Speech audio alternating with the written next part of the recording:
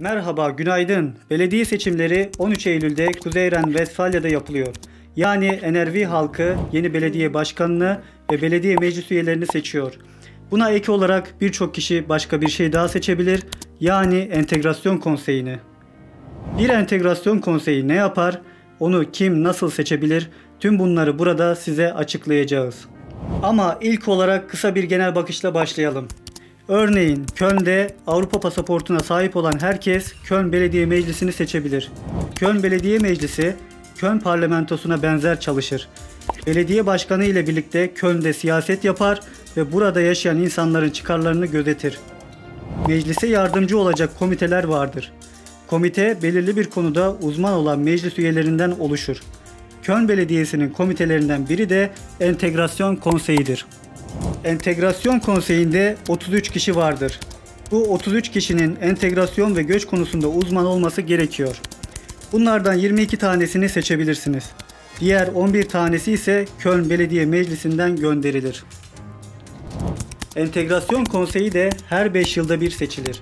Bununla birlikte en önemlisi Avrupa pasaportu olmayan kişilerin de entegrasyon meclisini seçebilmesidir. Bir başkan ve onun birçok yardımcısı vardır. Şimdi bir de entegrasyon konseyini gerçekte ne yaptığına bakalım. Genel olarak entegrasyon konseyi toplumun tüm konuları ile ilgilenebilir ve önerilerde bulunabilir. Örneğin entegrasyon konseyindeki üyeler Köln Belediye Meclisi'ne Almanya'da doğmamış yaşlılar için daha fazlasının yapılmasını ya da anaokullarında sadece Almanca değil diğer dillerinde konuşulması talebinde bulunabilir ve yazılı olarak da talepte bulunabilir. Daha sonra belediye meclisi bunun hakkında bilgi vermek zorundadır. Entegrasyon konseyinin bir üyesi konseyde hazır olabilir ve bunun hakkında konuşabilir. Ayrıca entegrasyon konseyi belirli konular üzerinde çalışmak üzere üyelerini Ulaştırma Komitesi veya Sağlık Komitesi gibi diğer komitelere de gönderebilir. Köln'de yaşayan göçmenlerin çıkarlarını ilgilendiren şeyler söz konusu olduğunda belediye meclisi entegrasyon konseyini önceden bilgilendirmeli ve kararlara dahil etmelidir. Örneğin entegrasyon konseyi üyeleri kentin kültürler arası merkezleri için fon dağıtımına ve ırkçılıkla mücadele etmek için hangi projelerin finanse edilebileceğine karar verir. Yani entegrasyon konseyi şehir ile ilgili kararlarda aktif bir şekilde söz sahibi olabilir, şehir ve belediyedeki göçmenler için çalışabilir. Köln'de entegrasyon konseyine 279.423 kişi oy verebilir. 2014 yılında %15,45 yani 34.811 kişi oy kullandı. Ama şimdi bunu tam olarak kimler yapabilir? Esas itibariyle şu durumlarda oy verebilirsiniz. 16 yaşında veya daha büyükseniz. Almanya'da en az bir yıldır ikamet ediyorsanız ve Köln'de kayıtlıysanız. Alman pasaportunuz varsa ancak ebeveynleriniz Almanya'ya göç etmişse oy verebilirsiniz. Alman pasaportunuz olmasa da ister AB ülkesinden gelin ister gelmeyin ya da iki pasaportunuz olsun bu durumlarda da oy verebilirsiniz. Ama şu durumlarda oy kullanamazsınız.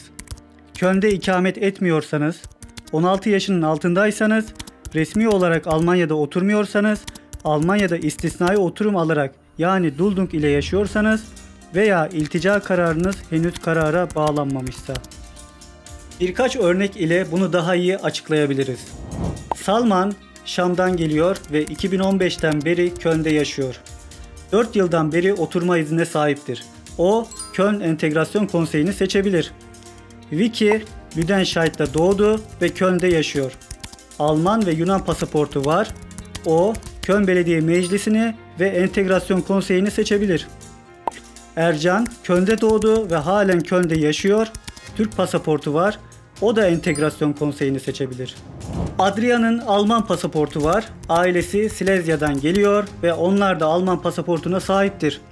Adrian, Köln Belediye Meclisi'ni seçebilir ancak Entegrasyon Konseyi'ni seçemez. Şahines Cezayir'de doğdu, Cezayir pasaportu var ve Almanya'ya sığınma başvurusunda bulundu. Sığınma başvurusu henüz karara bağlanmadı. Bu yüzden o Entegrasyon Konseyi'ni seçememektedir. Raziye Kabil'den geliyor, Afgan pasaportu var. Almanya'ya kaçtı ve istisnai oturum olan Duldung ile Köln'de yaşıyor. O da entegrasyon konseyini seçememektedir. Eğer oy verebiliyor ve oy verme izniniz varsa ve hala vatandaşlığa kabul edildiğiniz şehirde ikamet ediyorsanız seçim belgelerini otomatik olarak alacaksınız.